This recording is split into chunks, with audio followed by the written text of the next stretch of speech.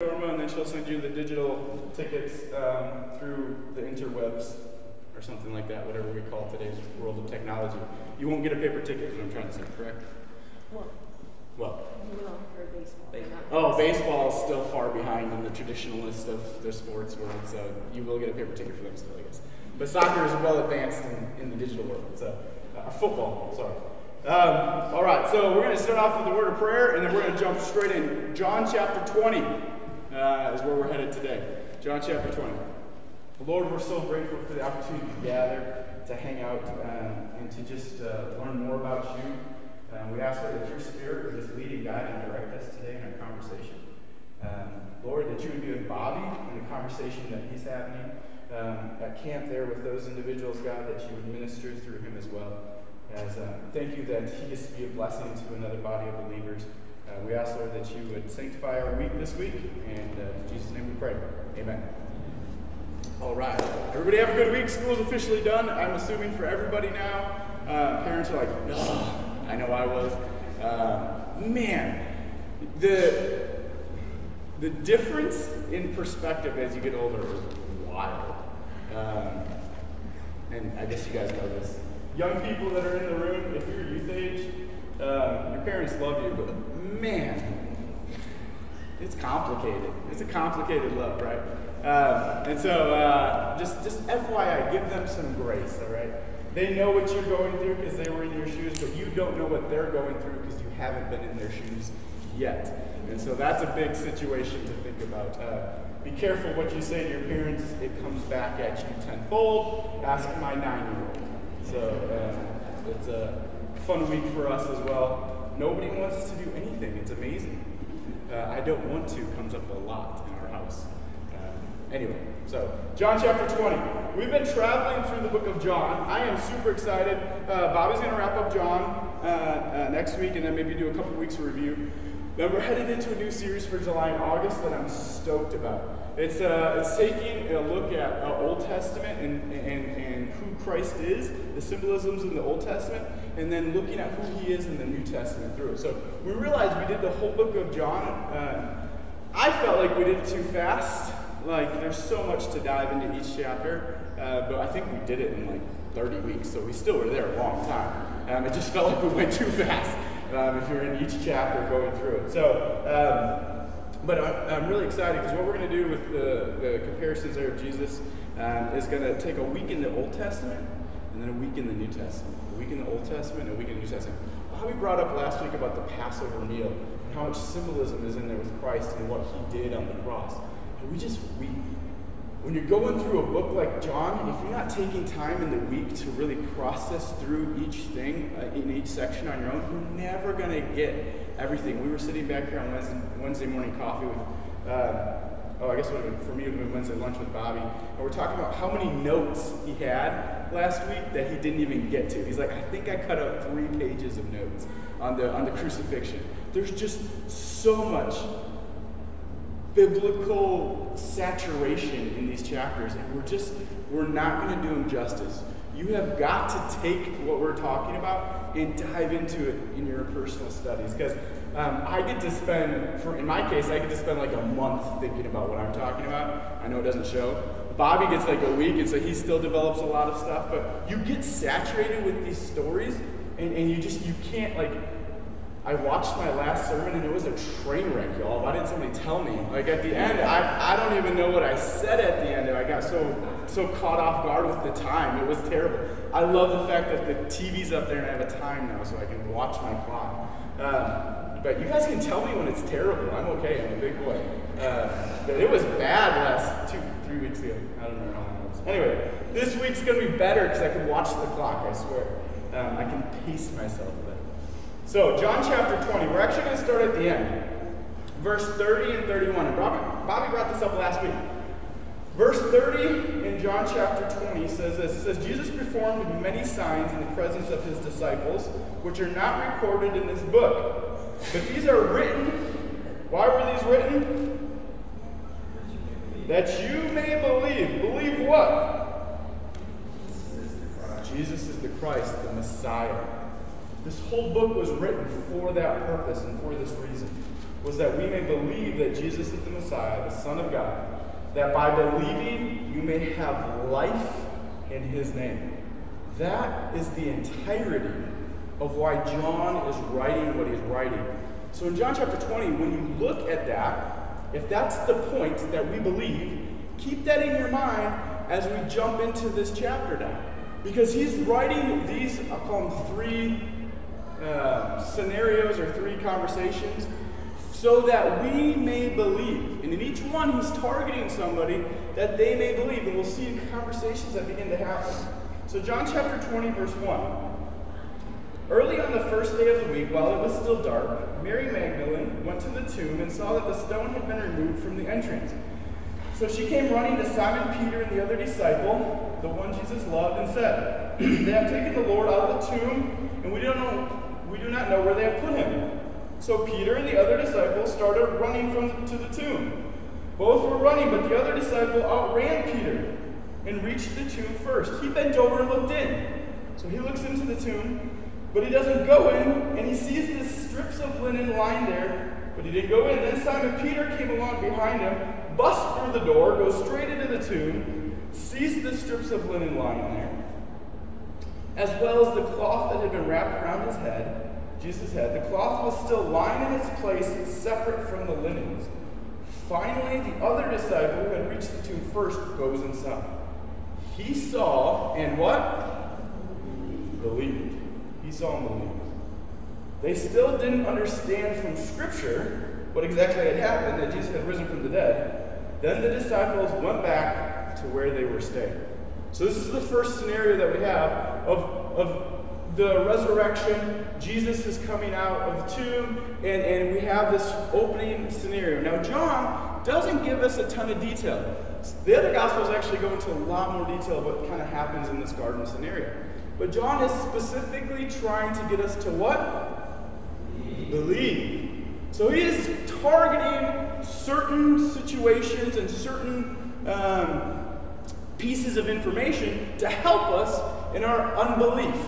One of the big things, and John doesn't talk about this, but one of the big things that the, the Roman soldiers who were watching the tomb, they fell as dead men and then they leave. They run away because they're scared because they totally messed up and have a death sentence on their lives now. They go before the priest and say, hey, we messed up, he's not there, he's gone. And the priest say, hey, tell them that the body was stolen, that his disciples came and stole the body.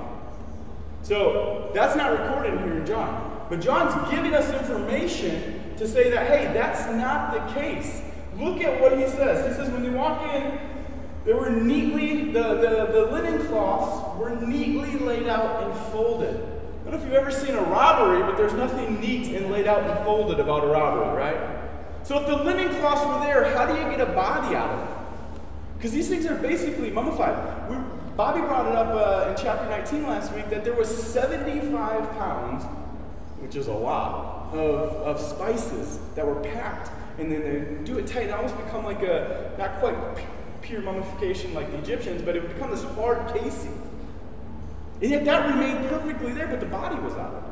Not only that, the face cloth that was put over it was folded and neat, neatly placed next to it.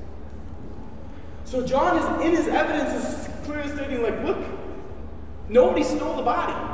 We still have these linens that are laying there. Nobody came in and ransacked. Not only that, there was a full, and John doesn't but there's a full guard sitting there watching the tomb. And they all survived. If you're going to rob a tomb, you're not leaving, you know, any evidence of that, right? You don't want to just take the guys that can say, oh, we got robbed. No, you get rid of them, right? So there's just so much of the story that doesn't make any sense. Um, if you believe the lies that the uh, chief priests and Pharisees were trying to spew. So he says he arranged it that the, the linens weren't moved and they weren't all tore up, but that they sat there and they were it was perfect, as if he had just oof, risen from the dead.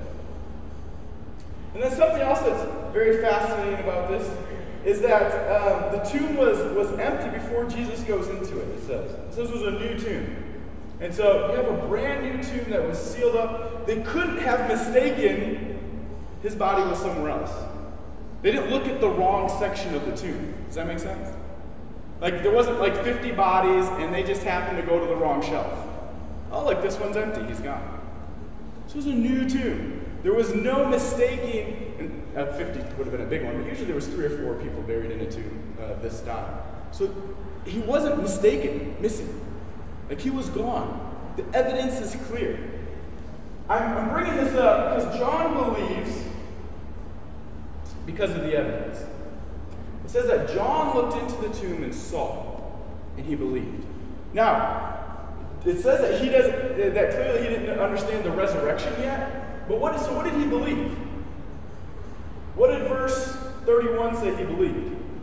Why is this written? So that we believe Jesus is what? The Messiah. So John might not fully comprehend the resurrection yet, but he fully understands that Jesus is the Messiah. He now gets it. It clicks for him. John looks at the evidence and says, you know what? Jesus is who he says he was. There's a, fant- there's a couple of fantastic books. I have a couple copies out there um, on, the, on the shelf. Uh, but this one is called More Than a Carpenter. And it's a short read. I do short books, okay? ADHD. So, uh, this thing, you can read it in like a day. It's awesome. This is More Than a Carpenter by Josh McDowell. Josh McDowell also wrote the non ADHD version of this called Evidence That Demands a Verdict. And it's about this big or that big. And it's evidence that demands a verdict stating who Christ says he is. Here's the awesome part Josh McDowell started off his research trying to prove that we are insane for what we believe.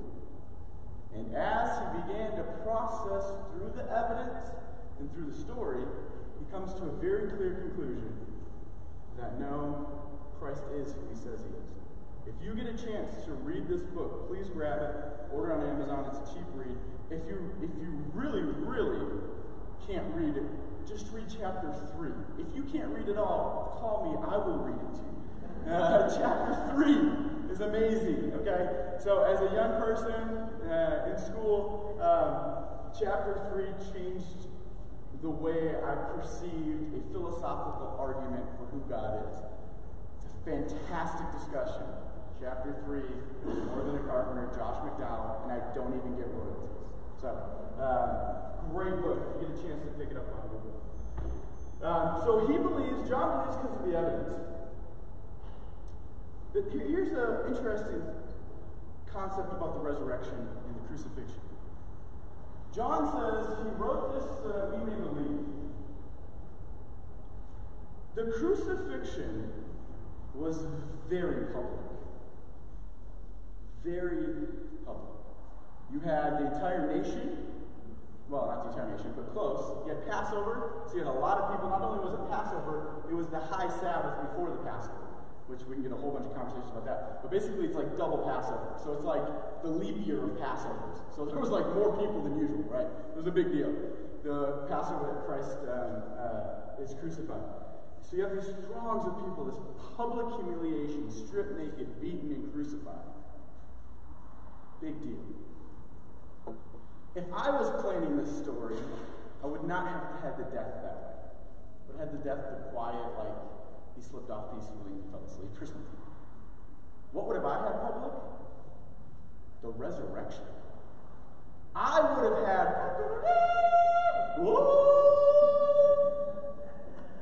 Am I wrong? Like, if Blake Kaufman is planning this, the death is kind of the least public part of this that I want to go through. I want everybody to know I am me. And I'm like, there's like this, I'm serious.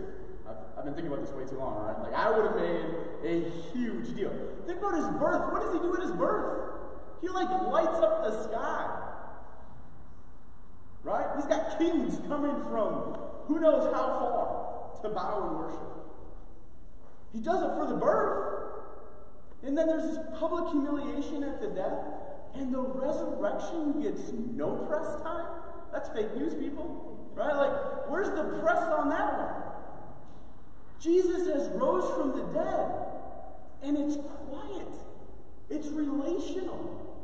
He does it so intimate, the resurrection. So intimate. But he doesn't first reveal himself to Peter and John. Peter, James, and John are the big three of the disciples. That's not the first person he publicly appears to. For the first public appearance, We actually have to keep reading. John chapter 20, verse 11. Now Mary stood outside the tomb crying. So Mary goes to the tomb early, sees the body's not there, or that the tomb is empty and the stones rolled away, runs back, tells the disciples, uh, uh, comes back with the disciples. The disciples see what's going on. They leave. Mary's still hanging around the garden. Mary's still processing what's, what is going on. As she wept, she bent over to look into the tomb, and she sees two angels in one, seated where Jesus' body had been, one at the head and one at the foot. They asked her, Woman, why are you crying?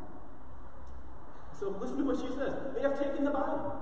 I, am guessing Peter or John, they leave thinking, oh my gosh, they stole the body. Can you believe this? I mean, what are we going to do now? And they just leave. Mary's like, they stole the body. She's still, still processing what does that mean? And I don't know where they put it. At this, she turned around and saw Jesus standing behind her, and she said she didn't realize it was Jesus. Verse 15. He, Jesus, asked her, Woman, why are you crying? Who is it that you are looking for? Thinking he was the gardener, she said, Sir, if you have carried him away, please tell me where you put him, and I will go get him. Jesus then turned to her and said, or Jesus said to her, Mary. She turned toward him and cried out in Aramaic, Rabboni, which means teacher. Jesus said, Don't hold on to me yet, for I have not yet ascended to the Father. Go instead to my brothers and tell them, I am ascending to the Father and your Father, to my God and your God. Mary runs to the disciples, tells them the news, and says, I have seen the Lord. Not only that, she then tells them all these things that happened to her while she was in the garden. This is an incredible story as well. Once again, John is recording it. Why? So that we may believe. It doesn't make sense that the resurrection isn't a public ordeal. It really doesn't. I want the bells and the whistles and the trumpets and the lights. I want that for Jesus on the resurrection Sunday. That's what I envision. Doesn't make sense that it doesn't do it. Here's another thing that doesn't make sense. The first person he appears to is a woman. Now, don't get offended. But in a court of law, back then, a woman's testimony didn't even count. So, to first reveal himself to a woman who then has to go tell the disciples what she's seen doesn't make sense either. Like, why? That's, that's backwards. Go to the chief priest and be like, hey, dummy, I'm here. Right? Go to the guy who controls the masses of religion and just say, it's me, you messed up. No, he goes to a woman who's weeping, who's heartbroken. And he sits in that moment. Her story means nothing in a court of law. Her word is the worst possible testimony. In fact, a, um, an early second, second century scholar who was a, uh, uh, oh my goodness, I forgot the word, somebody who would write against Christianity. Can't think of what's that called. But, um, one of his big things that he stated was that I will never believe the hysterical testimony of a woman. Now, he literally wrote it saying, if she's the one that told the story first, couldn't have happened. It makes no sense. They're crazy. Right? So, so why, would, why would we believe her story? Why would we believe that there was a group of women that went to the tomb and he revealed that? That doesn't make sense. And, and the crazy part is, if I was writing the story, that's not the way I would have done it either. It doesn't make sense in that cultural context. But yet, for some reason, Blake Kaufman's not writing the story. Thank God. Right? There's somebody who's writing the story that has a plan and an understanding far above mine, which that doesn't really very hard to go far above my understanding. But so the other disciple believed because of the evidence. Uh, Mary believes because of the word. She says, he says Mary. And as soon as Jesus says Mary, the lights turn on, and boom, she believes. She understands. Think about, think about this, that, that there's two angels, which I, I guess I don't think she realized they were angels, right? So where did you take them? Then there's Jesus, who she doesn't realize is Jesus the gardener. She is in such a broken mindset. She is so sad. And all it takes is one word from Jesus Mary. Boom. Our eyes are open. The word, the testimony of Jesus, instantly can change our lives. Scripture very clearly states that Jesus is the Word. In the beginning was the Word, and the Word was with God in John chapter 1. We talked about that. Jesus is our revelation. He helps us believe in the calling of our process. He writes this down. John is recording this story so that we might believe. Some believe because of the evidence.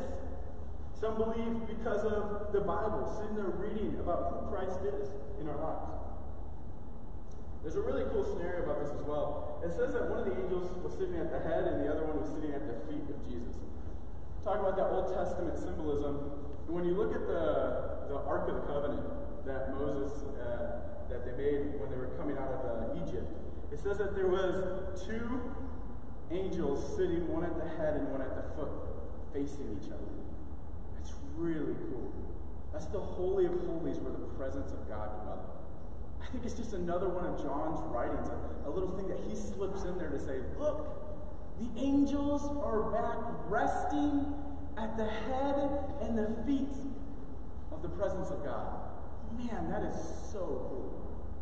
That is awesome to think about. That in the empty tomb, still the presence of God was being symbolized there. I love that little side note of, uh, information. Next segment, the one I'm trying to get to, is John chapter 20, 19 through 29, the story of Thomas. So 19 through 29 says this. On the evening of the first day, so Jesus rose from the dead, he has appeared to Mary. We know that according to Luke's account, he's appeared to Peter. We're not sure when, but he appeared to. And we also know he's appeared to the road to Emmaus. Emmaus. And so he's appeared to a couple people at this point, and they've all come back to the disciples and shared their stories. So within that, they're now gathered, first day of the week, still the same day, in the evening. When the disciples came together, the doors were locked for fear of the Jewish leaders. Ah. Put yourself in the disciples' shoes for the last three days. I know, I know we can't do that, but um, emotionally, put yourselves in their shoes. The guy that you had invested your life and gave up your future for died, and you don't get it quite yet. But these guys gave up fishing. These guys gave up being a tax collector, which was a decent paying job at the time because you were stealing a lot of money. Um, they were giving up all these things that were, were good and, and, and seemed like great life choices. And they gave them all up for three years, and you know what? The dude ended up dead. You sit in that, you have a Sabbath, you have this time where you're supposed to be gathering and, and celebrating, then you have Passover. And it's after all that, it's the first day of the week, you walk in, and crazy lady comes in and says he's gone. And then all of a sudden, disciples come back and say he's gone. Then all of a sudden, a lady comes back and says, I've seen him. This is what he said. And Peter says, this. and then the road to Emmaus guys come back and say, He's alive, he's alive. But yet, you also have the same story being told from the Jewish people that we brought up that says they stole his body. So they are locked away, hidden in a room out of fear. It's not in confusion and chaos. I don't think they're in a great mental space right now, is what I'm trying to say. They are in the chaos, and they have no idea what is going on. They're not connecting the dots yet. And they are scared, people. Doors locked, scared. Because, first of all, it was very against the religious times to go touch a dead body, let alone steal a dead body. The Roman guards have at this point said that they were, you know, fell asleep and, and took it, so Rome's kind of after them because the soldiers are trying to get rid of the evidence too. They're scared out of their minds. They're in, an, in just fear, chaos, uh, but yet